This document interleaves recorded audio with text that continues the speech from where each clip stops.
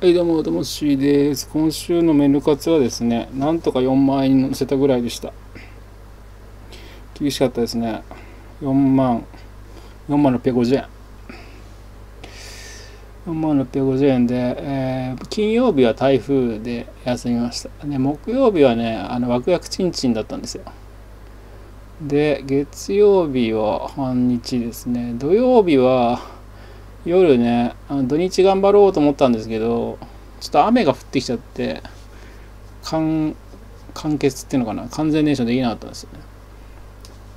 でも今日も京都でさ8000円とかでしょ。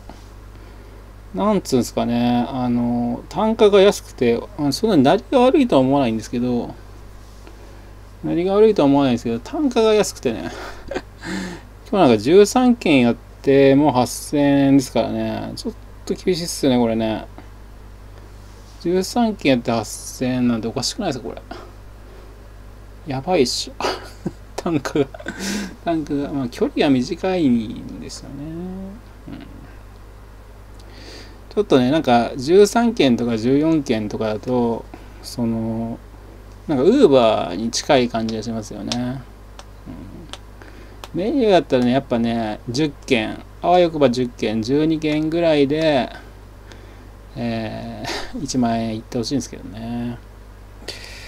でえーっとだからそのまあ4万円もね別に悪くないと思うんですよ。ただね私が問題だと思うのは4万円なの私専業なんですよ。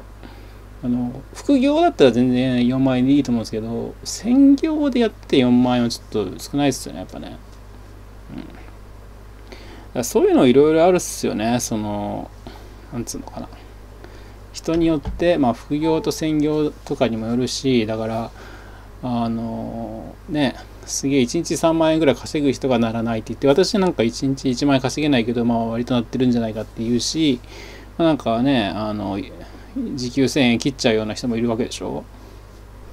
だいろいろですよね。やり方なのか何なのかよくわかんないけど。こういろいろな付き合い方ができるのが、まあ、フードデリバリーなんで、まあ、だからいろいろなんでしょうね。まあだから300円でも300円でもウーバーやっちゃう人がいるっていうのはまあその辺なんでしょうけどね、うん。まあ、究極的にはさ運動運動したいから運動不足だからやってる人もいるわけだからね、うん、であとなんだっけ。あなんか1.6倍ブースト出てるみたいだけどね。メニューじゃなかった。ウーバーイーツね。1.6倍だといくらぐらいなんですかね。でもなんかそのその1.6倍も昔の1.6倍とは違ってなんか1.6倍ついても大してプラスにならないみたいな話も聞いたんだけど。まあでも300円ってことないんでしょ。で今日みたいにさメニューのさ単価が安いとさなんかウーバーとそんな変わんねえんじゃないかなって気もするんですよね、うん、今日なんかだって1000円いってないもんね今日ね。500円。まあでも昨日の反省を受けあの受けてね昨日の昨日反省、昨日ね、400円とかあるんですよ。410円とか380円まであるんですけど、ね、さすがにこれはちょっとと思って、410円とか380円とか。これさすがにちょっとね、ひどいなと思ったんで、今日は少し気をつけたんですけど、それでも、それでもこれですからね。まあだから単価的にはいくらだろう。481円が最低かな。まあ大体5、600円ぐらい取れてるんですけど、まあ、大体500円、600円なんですよね。これね、あのメニューだったら700800円はいってほしいし、やっぱ1000円、たまには1500円、1200円とか、なんかフィーバーするときって1000円連発するじゃないですか、メニューって。なんかちょっとおかしいなって感じですね。もうならないとは思わないんだけど。でもなんかそのツイッターとか見てるとメニューが異常にならないみたいな話もある。ね。割となってくれてますけどね。ただちょっとそのロングショートが多いんで。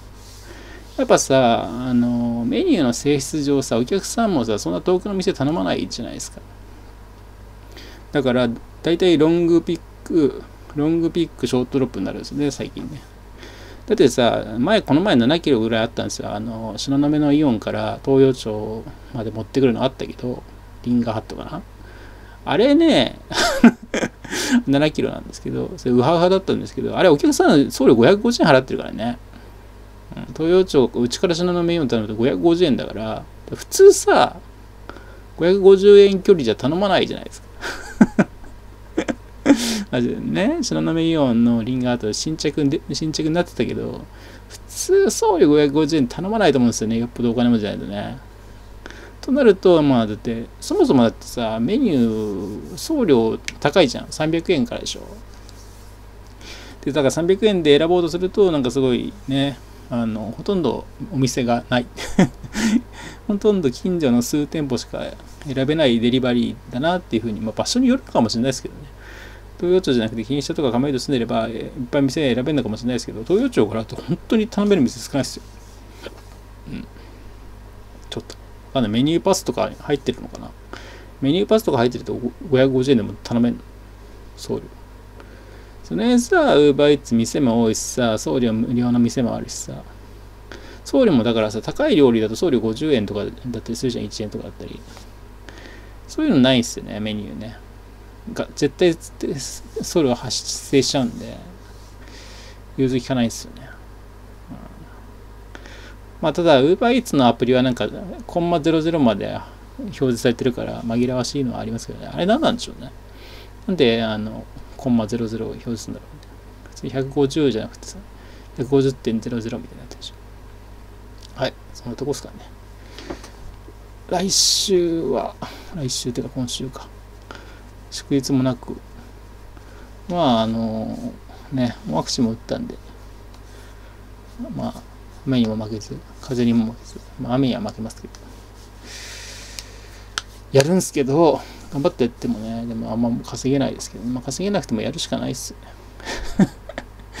稼げなくてもやるしかないっていうか、でもさ、件数やっても稼げないとさ、なんか悲しくなっちゃうけど、でもそれやるしかないです。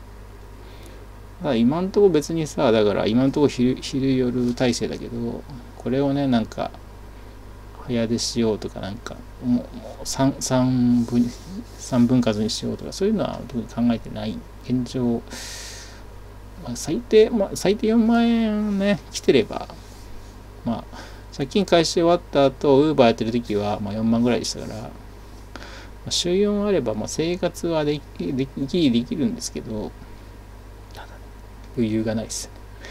やっぱね、6万ぐらい、あ欲しいですね。そのとこ